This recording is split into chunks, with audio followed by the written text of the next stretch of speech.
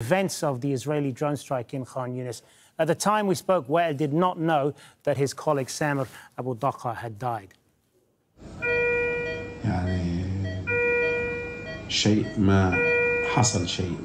And then all of a sudden, something happened.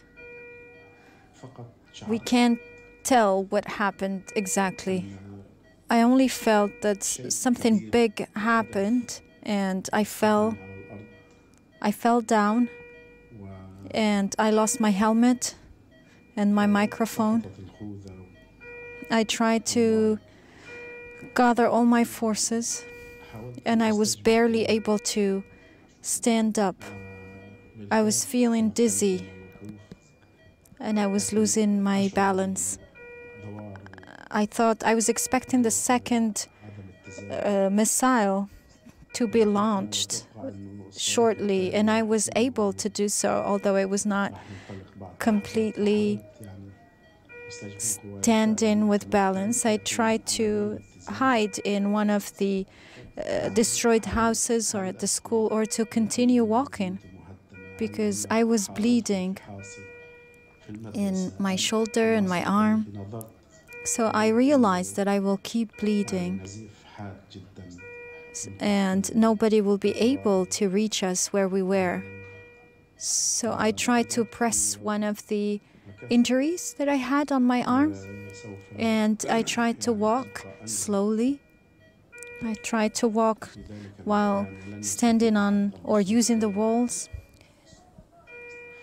and tried to avoid the tunnels as fast as I can. At the end, I was close to the main road. I saw there an ambulance. So I shouted and I tried to wave with my hand so that they can come. But the situation was very challenging and they were not able to reach me where, that, where I was. So I needed to continue walking until I reached the ambulance and they tried to stop the bleeding at least uh, temporarily. We got in the ambulance.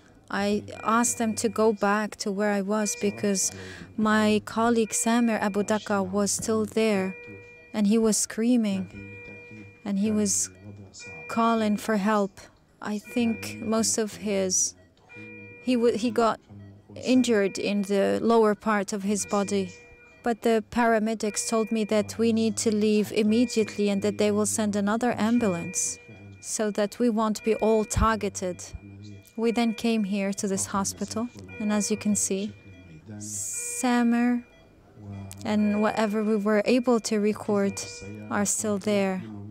There are attempts to send a, an ambulance, and the ambulance got shot there was some kind of a coordination again, but the ambulance of the Red Crescent refused to go back there because the area was very dangerous and they requested an, a vehicle or an ambulance from the Red Cross or the United Nations agency.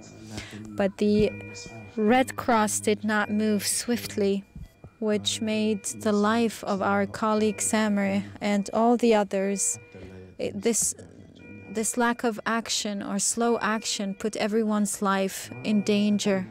But we are still hopeful.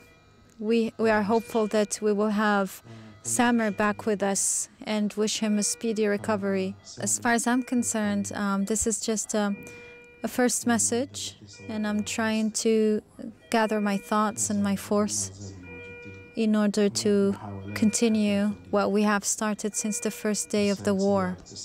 I expect to be able to start working again tomorrow morning, despite all the wounds. Peace be upon you. See you soon. The words there of Al Jazeera's